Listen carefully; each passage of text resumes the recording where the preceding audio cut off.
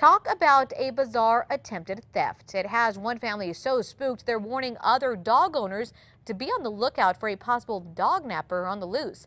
News 13's Chris McKee is in the Newsplex tonight with the details. Crystal, this attempted dog napping happened in broad daylight. The victims believe they were randomly targeted.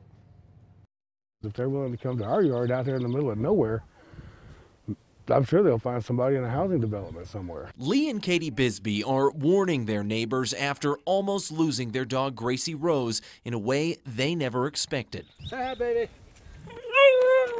Monday afternoon at their home in Tijeras, Lee was inside when his five dogs picked up on something nearby. I kept hearing them going on and on and on. Outside, Lee found his gate open and saw something very suspicious. There was a blue car sitting here, a little blue four-door Corolla. Someone calling for his dog.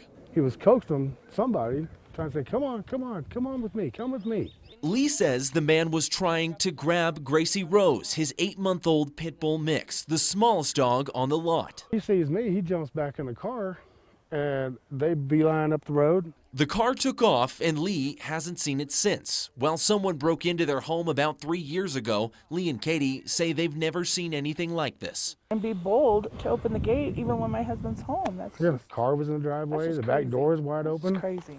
The two are now getting others involved, Everybody needs to be on the lookout. posting warnings at the nearby 10 Points General Store with hopes of catching the attempted dog napper. Just to let everybody else know that there is the, the opportunity that somebody may take an animal.